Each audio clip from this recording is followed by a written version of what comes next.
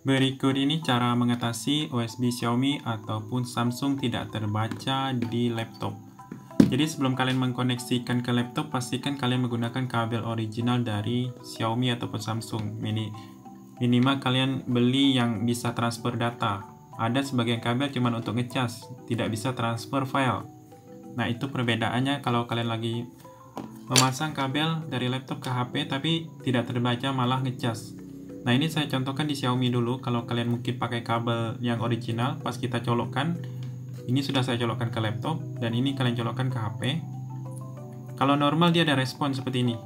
Nah ada mengisi daya. Tapi kalau Xiaomi yang Hyper OS dia harus di ini diubah modenya di sini. Daya perangkat sedang diisi. Tarik pilih di sini. Nah ubah ke transfer file. Jadi dia tidak otomatis. Jadi pilih yang ini. Baru terdeteksi di laptop Intinya kalian lihat di sini dulu, kalau tidak terbaca. Kemudian di Samsung, biasanya otomatis asalkan kunci layarnya kita buka. Nah, yang ini.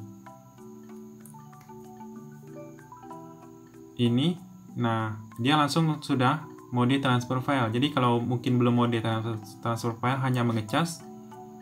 Kalau hanya mengecas yang ini, berarti kabelnya itu tidak support. Kalian pilih di sini. Nah, Pilih di perangkat ini lalu pilih mode transfer file.